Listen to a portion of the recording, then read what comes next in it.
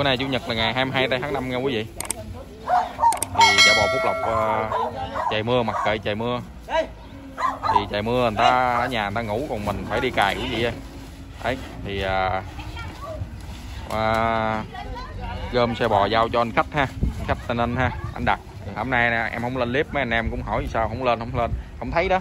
Thì à, tại vì em lo bắt bò đặt không à bắt bò trên zalo mấy anh khách điện đặt thêm không à rồi thành thử ra không có bò ha quý vị trời, mưa nè, mưa từ sáng tới chiều mấy bữa nay. Em cũng gái em lặn lội, em kiếm bò cho mấy anh em ha.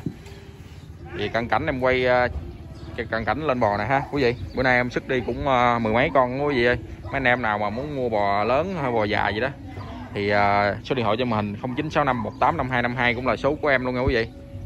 Em tên Sang, ha. Số đó cũng là số Zalo ha. Mấy anh em muốn xem bò lại một lần nữa thì thì các bạn số Zalo đi. Thì em cho xem bò lại lần nữa rồi đóng xe mà đi, ha thì à, chả chạy bò Phúc Lộc thì cấp cách ngày hai ngày cũng có xe đi Tây Ninh nè. Bởi vì mấy anh em đừng có sợ, muốn mua một con, hai con gì đó thì à, cứ gửi đi, em cho gửi có đâu có nhầm gì đâu, ha. Thì chả chạy bò Phúc Lộc lại nói đầu tiên cũng xin chân thành cảm ơn tất cả mấy anh em trong tỉnh và ngoài tỉnh, ha. Luôn luôn tin tưởng và ủng hộ em, ha. Trong suốt thời gian qua, đây, dắt lên xe hai con ngủ vậy còn hai con nè, bò này, vàng bò này có vẻ răng rồi hết nha quý vị. Bò già bò già rau thịt làm cho nó đạt chút xíu, ha. Bò già bò nuôi lại cũng được quý vị bò này tầm mét ba mấy thiếu đủ mét tư bò quay về. Nuôi cũng được. Bò có bẻ răng hết nha quý vị. Bò đặc biệt là bẻ răng hết hoàn toàn. Rồi để chút xíu lên bò thứ ba cái em quay lên cho ha. Đây tiếp tục lên con thứ ba quý vị bò già đát và chát. Khô gan bò bốn bò này, công nhận chuồng bò này ưng bụng thì khô bò, khô gan. Và chát bò này giờ mình dỗ nữa cũng được đó nha quý vị. Dỗ đường ngắn cũng được thêm lắm. Thì nó có bẻ răng, đặc điểm của nó là bẻ răng rồi. Quên nữa, nãy giờ em lên bò em coi mắc cừ hoài à. em mới nhớ này quý vị, hồi nào giờ mấy quý vị, hồi nào giờ quý vị thấy chưa? Nuôi bò thì cái chuồng bò như vậy nè, ha. Còn cái chỗ dắt ga, nãy em mua xong rồi em suy nghĩ hoài, em nói rồi dắt ga đâu? Không lẽ bay lên nền? Đó. Rồi bắt đầu anh anh chủ bò anh mới nói là đi đường dưới sàn. Ghê không quý vị? Nuôi bò nữa bò lớn là phải đi dưới sàn. Rồi chỗ đó mua, nuôi, mua nó lớn chút xíu nữa rồi sao ra vậy ba bò bự chút xíu nữa rồi sao ra. Bởi vậy thấy độc lạ không quý vị? Độc lạ bình dương không? Độc độc không à quý vị ơi. Đấy, nè, để em coi, quay cho quý vị coi nè.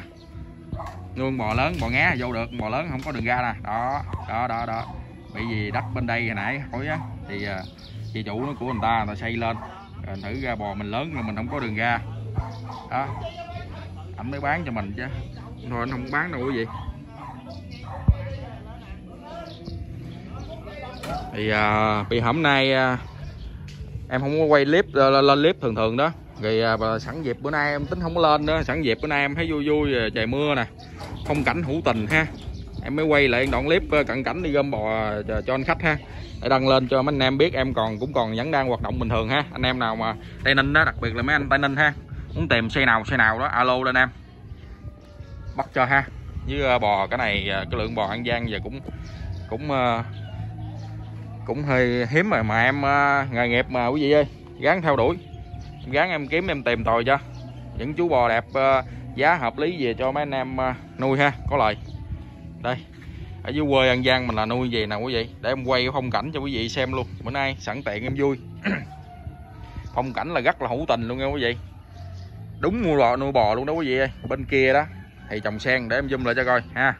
Đó, bên kia trồng sen ở dưới thả cá. Còn ở đây thì à, nhà nông người ta nè, trồng cỏ. Hay gì người ta trồng lúa mà người ta không trồng, người ta trồng cỏ. Đấy. Anh nuôi tới 8 con là quý vị, mà anh tiễn bốn bò lớn nè. Em bắt bốn bò lớn, bò già đã ăn rồi á. Thì còn lại bốn con bò cũng tháng hoài, hai tháng nữa anh bán rồi, ha. Thì em quay phong cảnh hữu tình cho quý vị xem, đây. Ha, quê miền tây mình là vậy đó quý vị ơi an nhàn không chặt vật chặt vả ha. Chiều chiều cái cắt cỏ xong cái mình là nướng bậy dài con cá rô cái mình nè liêu ghiêu rồi ha. Đây cái chuồng bò của anh nó cũng muốn sập luôn rồi quý vị ơi. Muốn sập luôn à anh bán xong rồi là anh ảnh à, à, cắt cái nhà cấp 4 cho mấy con bò anh nuôi bò chứ anh không có nuôi mà mà cái chuồng cây này nữa quý vị kìa. Quý vị xem đi nếu mà bảo mà thêm một số nữa nó hang là cây cột nó gãy đó. Đó đó, đó là chân chủ tay chỉ đó. Thành thử ra anh mới chịu bán đó quý vị đây cái cái bò tượng gì nè mà anh nuôi bò không có đường dắt ga nào quý vị. Đó hello anh chủ bò. Chào coi. Ừ rồi tối lên, lên kênh youtube cho bò phúc lộc coi ha. Ừ chợ bò phúc lộc là thấy ông trên màn ảnh nhỏ à. Đây anh Đi chủ bò. anh chủ bò dễ thương lắm nha quý vị. Đi chơi nè, đi Đấy. chơi nè. À, đi chơi. đó rồi tiếp tục tới con thứ tư. Rồi bốn con. Nè, đây nè con. đi về ăn con mới con ơi viên còn mới nè con.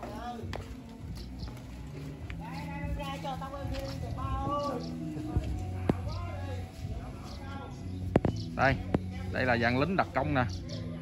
Đó. Thấy không? Chắc ga là không có chỗ ga luôn nghe quý vị.